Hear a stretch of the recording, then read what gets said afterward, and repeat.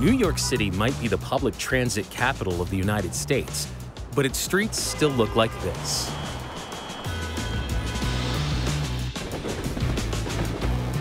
Each day, the city plays host to an intricate dance of pedestrians, cyclists, and vehicles.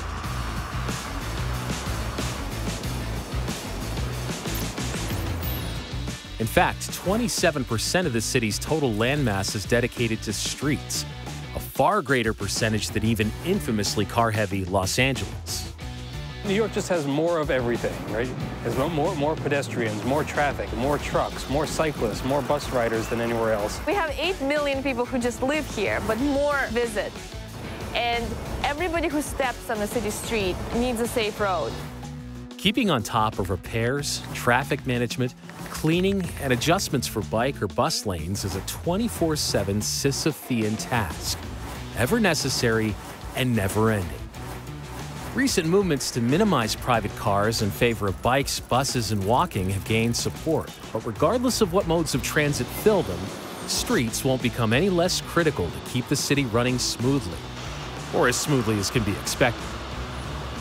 It's our responsibility to deliver streets that are safe, that whether you're walking, biking, driving, taking a motorized unicycle, that you are safe on those streets. Here's how New York keeps hustling and bustling by maintaining, managing, and reimagining its roads.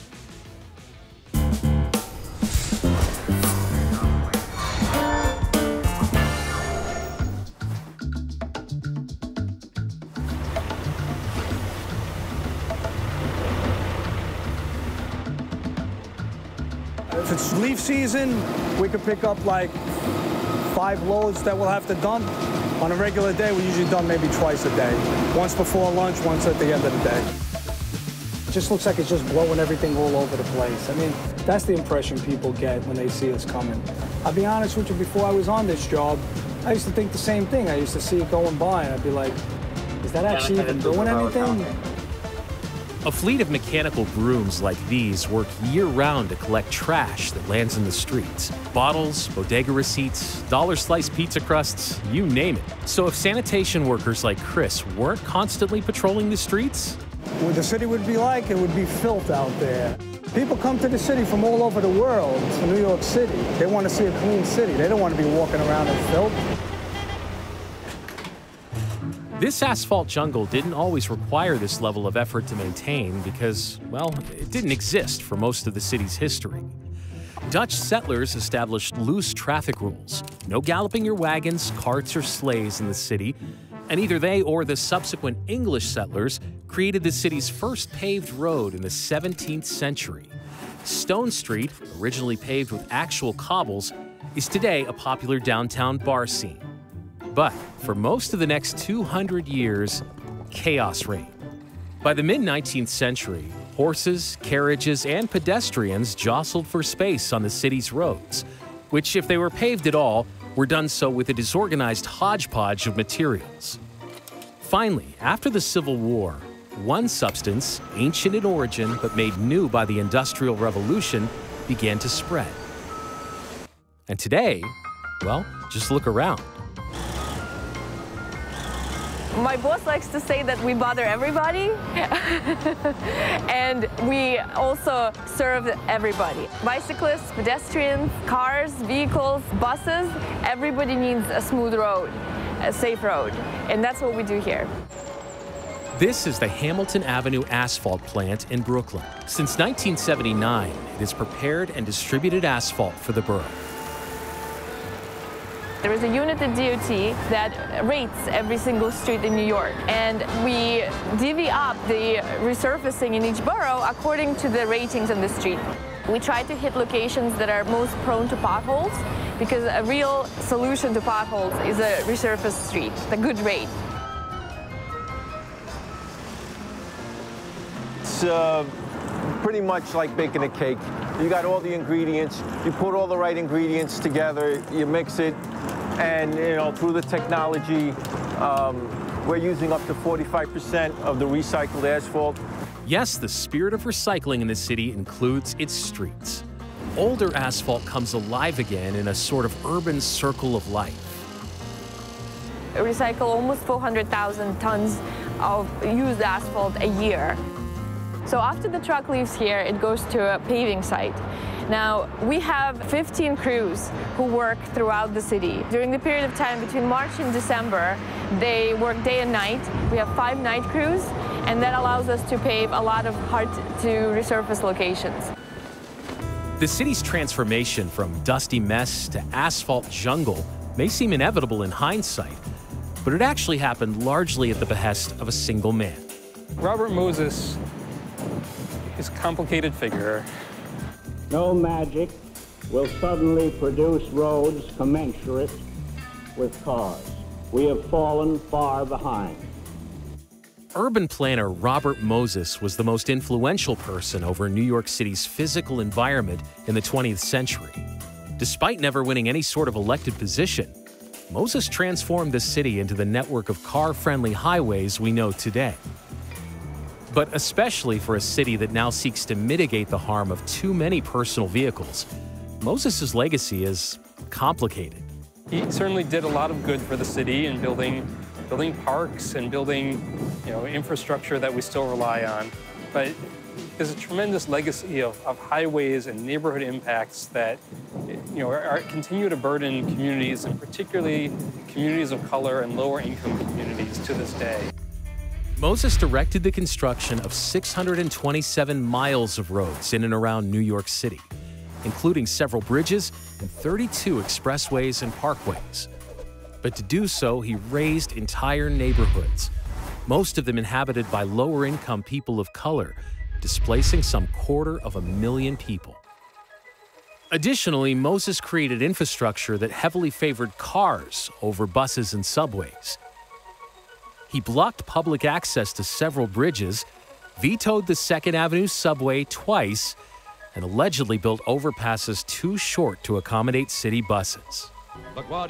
Moses continued his projects until the 1960s. But the subsequent 60 years of infrastructure in New York have been defined by maintaining and managing his life's work. So we are in the Traffic Management Center in Long Island City, Queens. This is where we monitor traffic conditions all around the city and where we operate the traffic signal system throughout the five boroughs. So we have 13,500 signalized intersections out of about 40,000 intersections in total. We're monitoring on over 800 city DOT cameras, and then we have access to an additional 300 state DOT cameras and they all communicate back here where our team can monitor the health of the traffic signals themselves, make sure they're working properly, and then also monitor traffic conditions, make adjustments on the fly. All these traffic lights operate on timers set to anywhere between 45 and 120 seconds, depending on typical traffic conditions in the area. And while much of what appears on all these cameras is car traffic, Benson and his team are prepared for a future where transit may look different. You know, the more people that get around in other ways, the less wear and tear that is on our road, the less risk that is for people out there. Those types of changes are definitely positive as, as we go forward. One major change taking place in the city is making way for different types of transit, especially cycling. I first hopped on a bike in New York when I was seven years old. That would be 1956. So I've been doing this a while. In some ways, it's easier to bike now because you do have the infrastructure. The volume of traffic has just increased exponentially. Steve Schofield has been a volunteer with the Ghost Bike Project since 2011, an organization that memorializes sites of cyclist fatalities. It's there for the families for all of us to make drivers and everybody aware that it's, you know, it's a hard world out there, but cyclists are vulnerable and that dare, but for the grace of whatever, that could be a bike for me. Total pedestrian and cyclist fatalities and injuries due to cars have steadily fallen since the 1990s, but that still amounts to thousands of injuries and hundreds of deaths annually. Right now you have these large metal behemoths frequently with just one person in them. And right now, cars own most of the street. There's a limited amount of space, and nobody wants to give an inch. Throughout the entire history of the city, it's really been a city for people that walk and bike and take public transit. Cars have occupied such a narrow sort of slice of that multi-hundred year history in the city. And we really just want to rebalance the streets to meet the needs of everyone. So taking away just ever so slightly a little bit of space away from cars and adding more bike lanes, pedestrian plazas, street seats, open streets, um, all the great things that are within our, our toolkit. In April 2020, Shortly after the COVID 19 pandemic severely restricted New Yorkers' ability to move about freely, the city's Department of Transportation launched the Open Streets program. Each weekend, residents come together on two blocks on 31st Avenue in Astoria, Queens. Its use left up to the whims of the community. Astoria is very proud of the community that's built here. Um, we really treat the 31st Ave as the front yard of the, the neighborhood in a lot of ways. Two years after its inception, the network of open streets crisscrosses all five boroughs, with more to come. Public space is definitely an, an, evolving thing. It's not static. It's a constant conversation that is one of our most nimble assets. So we're constantly working with folks in the community to make sure that you know we're meeting their needs in a sufficient way. Going hand in hand with the Open Streets program is a renewed push to encourage New Yorkers to decrease car usage. But what we've seen increasingly is that people don't necessarily want to drive everywhere. They want to have options. And we want to make it safe and comfortable, whether you want to walk, whether you want to bike, whether you want to take the bus, that, that we want to deliver a system where people have good choices to get where they need to go. In a city as dense as this one, New Yorkers have a special relationship with the streets.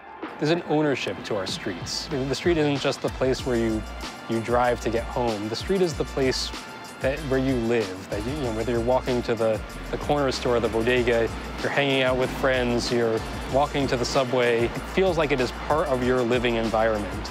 And you know, there's an intensity to that and, a, and a, a care of that that I think isn't matched elsewhere. It's rewarding. You see a filthy street that you're approaching. Once you pass it, you look in the rearview mirror and it's spotless. That's rewarding. In some ways, the streets are just as alive as the people that use them, adapting over and over again to changing technologies and conditions. No matter what the future holds for this unique city, the roads will be here in some form or fashion to keep it all running smoothly.